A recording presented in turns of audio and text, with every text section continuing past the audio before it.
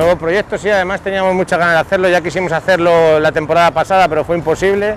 y por fin este año lo hacemos realidad, a ver si podemos divertirnos con él un montón. Un piloto la misma, que además manda más que yo y está trabajando muy bien, así que Bel Rivas seguirá en el asiento del miedo.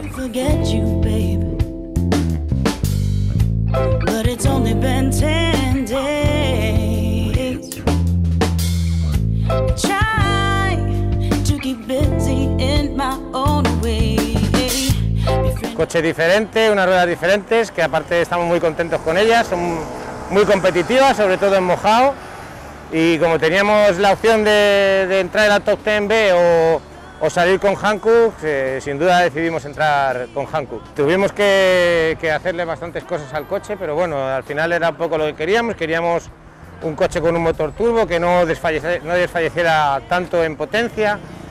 y queríamos renovar a algo más moderno también y encontramos este coche que, que fue una oportunidad, la verdad que también nos ayudó mucho Jorge en, en seleccionar esta montura, Jorge Pérez, y bueno, ahora aquí, aquí lo tenemos, a ver si merece la pena. El Rías, eh, que será en septiembre, eh, virus mediante,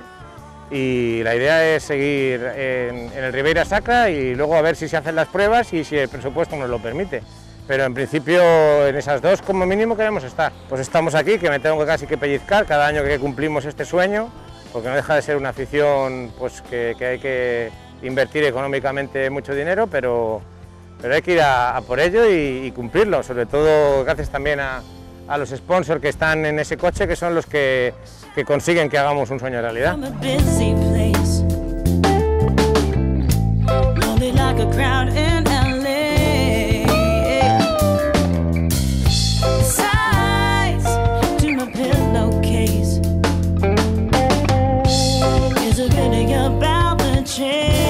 Vamos a, intentar llegar lo más lejos posible este año, pero sobre todo tenemos una carrera muy importante, no solamente nosotros, sino todo el mundo. Y es contra el, contra el maldito virus, contra el maldito COVID-19, por eso lo que queremos es pedir a todo el mundo mucha responsabilidad en las cunetas